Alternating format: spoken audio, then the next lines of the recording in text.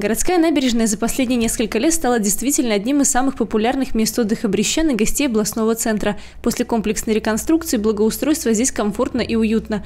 Поэтапно пешеходный проспект связал бульвар Шевченко и улицу 17 сентября, затем городской сад. И люди это оценили. Сегодня отдыхающие с удовольствием проводят здесь жаркий полдень и теплые летние вечера. Архитекторы задумались над тем, чтобы сделать эту зону отдыха популярной в разное время года. В перспективе я э, все-таки надеюсь, что нам удастся набережную завязать еще с эко экотропой э, с выходом на сои и с выходом вот э, вокруг, вокруг реки, чтобы мы смогли сделать такой вот променад для велосипедистов, для пешеходов. Оптимальная ситуация – это когда набережная будет работать круглый год. Э, не только летом, но и чтобы это можно было и зимой там находиться.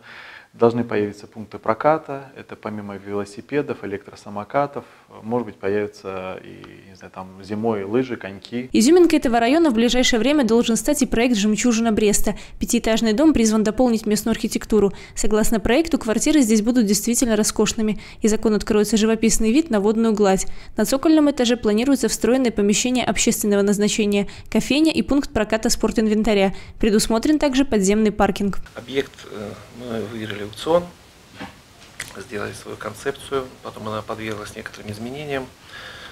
Сейчас находится на согласовании в горисполкоме. Я надеюсь, в ближайшее время мы подадим проект на экспертизу. Э, ну, то, что там, то, что там есть сейчас, ну, на самом деле совершенно не вписывается в ту набережную, которая, которую, ну, которая должна быть. То есть это уголок, который еще такой не освоенный, дикий. Я думаю, в ближайшее время мы приступим к строительству. Хотелось бы уверить, заверить жильцов ближайших домов, что э, их покой мы никаким боком не нарушим. То есть там мы встречались марте месяце с жильцами, рассказывали о том, что будет, как будет, э, потому что много было у людей вопросов, что будем там, работать обязательно громко ночами, будет э, забивка свай, пойдут трещины, там, дома попадают, будет ресторан, который будет мешать, там будет только кафе, все будет ну, тихо и красиво. Строительством жемчужины будут заниматься специалисты компании «Продом». Пока еще идут некоторые уточнения проекта, однако площадка уже частично огорожена. Мало кто знает, что эти дома относятся не к улице Интернациональной, а к исторической улице Карла Маркса. Кстати, многие из них сейчас пустуют из-за своей аварийности. А если пройти несколько метров вперед, то перед вами откроется живописный вид на благоустроенную набережную.